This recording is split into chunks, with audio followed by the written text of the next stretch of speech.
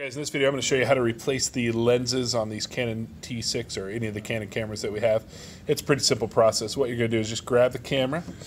You see you've got this little button here on the side. You're going to push that and hold that button in and then twist the lens away from the button and then just pull it right off just like that.